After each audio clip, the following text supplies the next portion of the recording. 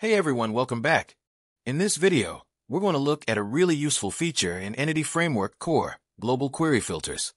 If you've ever written the same where condition over and over in your queries, you know how easy it is to forget it once and cause bugs or even expose sensitive data. Global Query Filters solve that problem by applying those conditions automatically across all queries. Let's walk through what they are, when to use them, and how they've been improved in .NET 10. Before we continue, a quick shout out to today's video sponsor, Entity Framework Extensions. If you're working with EF Core, you know performance can sometimes be a challenge. EF extensions help solve that by offering bulk operations like bulk insert, bulk update, and bulk delete that run up to 14x faster than the default EF Core operations.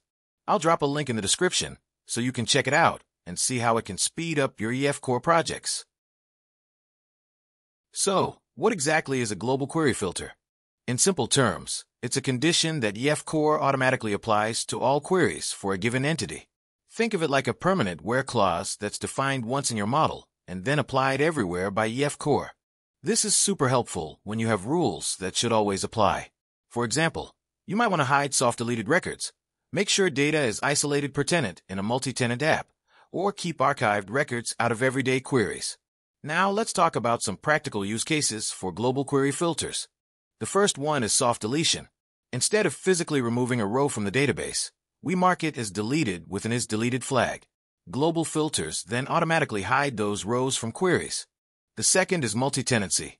In SaaS applications, multiple companies or tenants share the same database, but each one should only see their own data. A global filter ensures tenant isolation without you having to remember it in every query. And finally, we have archiving old data. Some records need to stay in the database for compliance or reporting, but we don't want them cluttering up everyday queries. A filter keeps them hidden by default but still accessible when needed. These are some of the most common ways global query filters can make your application safer and easier to maintain. Alright, let's see this in action with some code. I've created a brand new .NET 10 Web API project, and we're going to walk through how to implement soft deletion using global query filters. Before we move forward, I've already installed the required libraries in my project. Here you can see I'm targeting .NET 10, and I've added the necessary NuGet packages for EF Core. That includes Microsoft Entity Framework Core, the SQLite provider, and Entity Framework Core, tools for migrations. In this project, we're going to use SQLite as the database provider. That's why you'll notice the Microsoft Entity Framework Core, SQLite package added to the project. This gives EF Core the ability to talk to SQLite database. We'll start by creating a simple blog entity with an isDeleted property, then configure our application DB context to automatically exclude deleted blogs. The first step is to add our blog entity inside an entities folder. This is the table we'll use throughout the demo to show how global query filters work. So now our blog class is a sealed class, and it's going to have three properties, ID, name, and isDeleted. We'll specifically use the isDeleted flag later when we set up our soft delete scenario, where instead of physically removing a blog from the database, we'll just mark it as deleted and let the global query filter hide it from normal queries. Now I'm adding an application DB context in the data folder. I've made this class sealed, and now I'm going to inherit from DB context.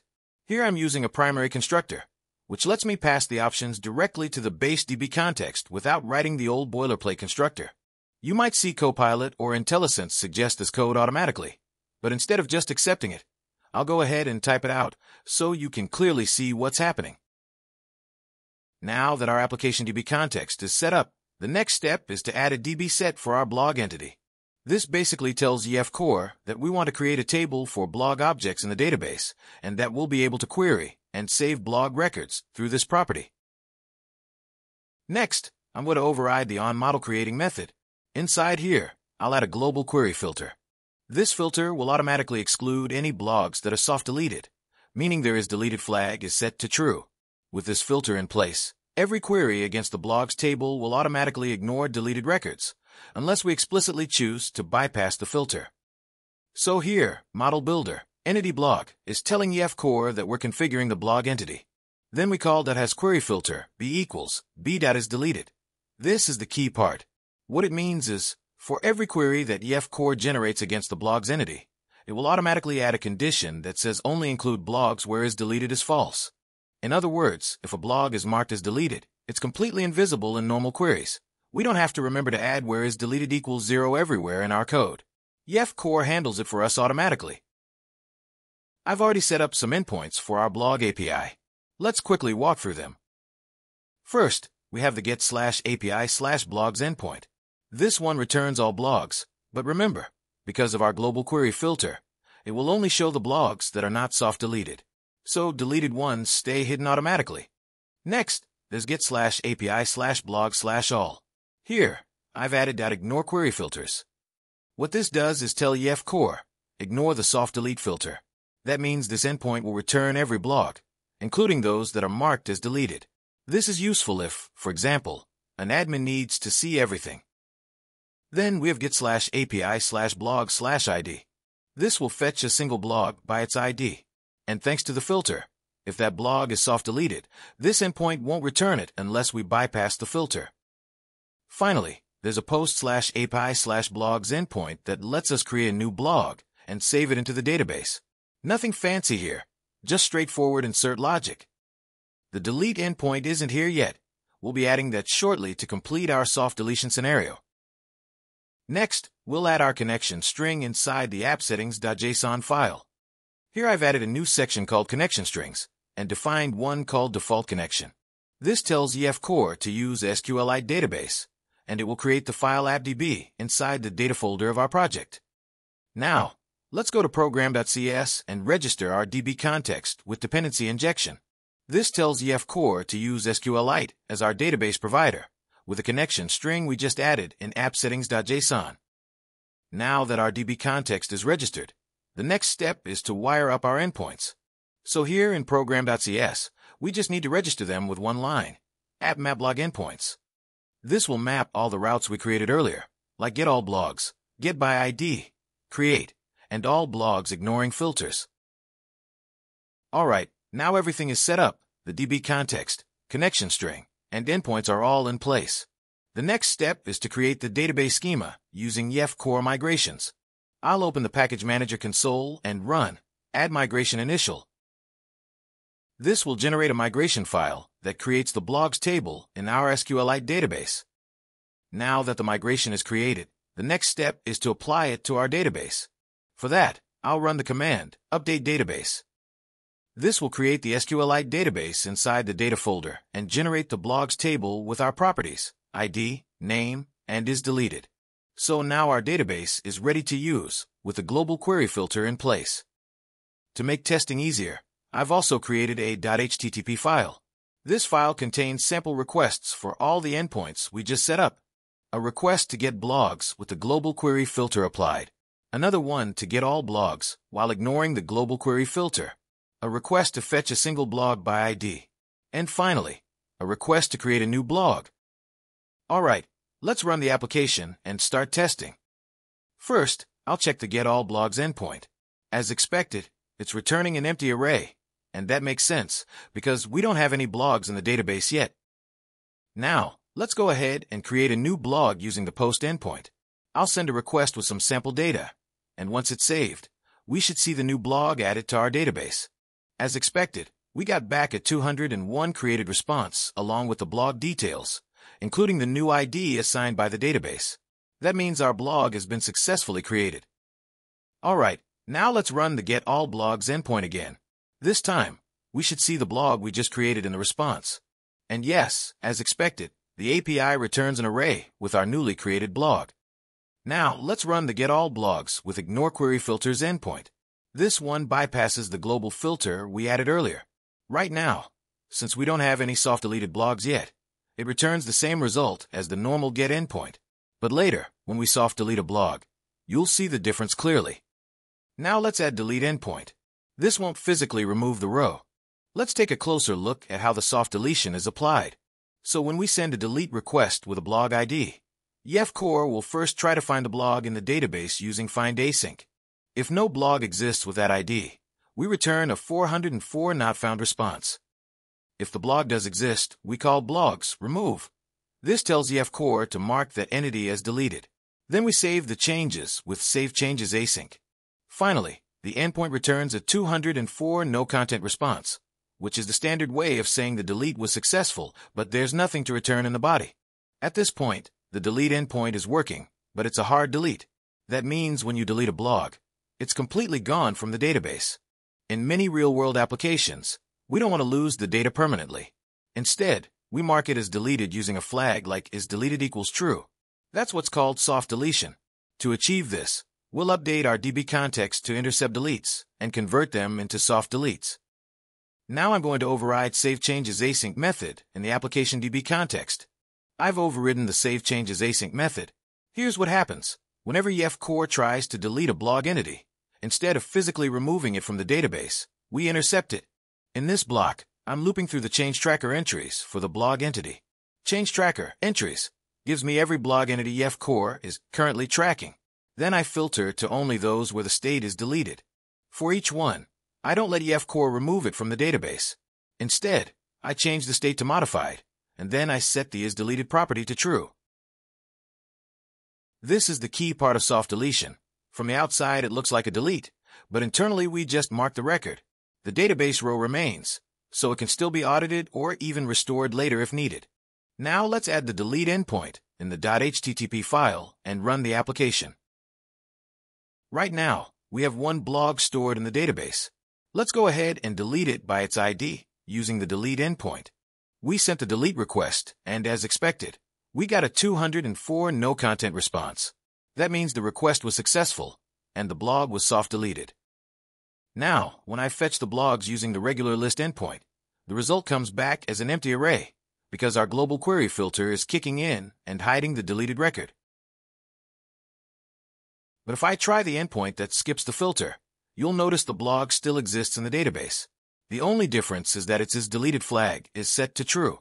So, we just saw the delete in action. The blog didn't actually disappear from the database. Instead, its deleted flag was flipped to true. Now, here's the important part. When we call the regular list endpoint, EF Core automatically applies the global query filter, so that soft deleted record is hidden. But when we use the all blogs endpoint, where we explicitly tell EF Core to ignore the filter, the same record shows up again. Only this time we can see it's marked as deleted. This is the essence of soft deletion. We don't lose the data. We just hide it from normal queries. That means we can always restore it later, or keep it around for auditing purposes. Now, before EF Core 10, global query filters came with some pretty big limitations. The first one is that you could only define one filter per entity. If you wanted multiple rules, like soft deletion and tenant isolation, you had to cram them into a single expression. That worked, but it meant you couldn't easily disable just one filter. The second limitation was about disabling filters. If you used ignore query filters, EF Core would strip out all the filters for that entity. So if you wanted to bypass soft deletion but still keep tenant isolation, that wasn't possible. These two issues made global query filters a little inflexible, and that's exactly what EF Core 10 improves with its new named filters feature. In EF Core 10, things got a lot better with the introduction of named filters. Now, instead of being restricted to one filter per entity, you can define multiple filters.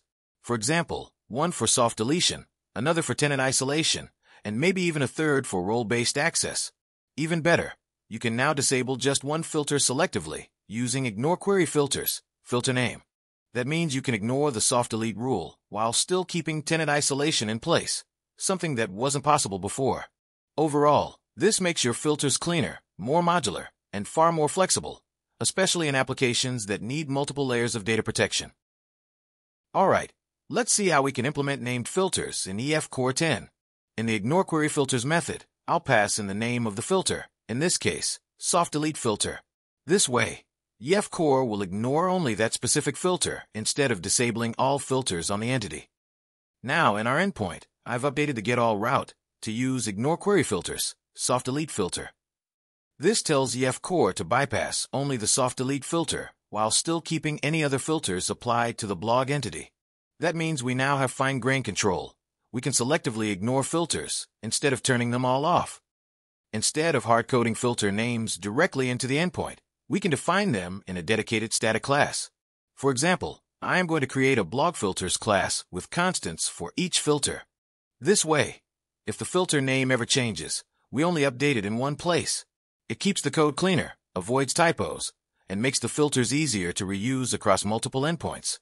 Now, I'll move the blog filters class into a separate file. In the onModelCreating method, I've now assigned a name to the global filter using blogfilters.softDeleteFilter. And in the endpoint, instead of hard-coding the filter name as a string, I'm now referencing blogfilters.softDeleteFilter. Alright, let's run the application and see this in action.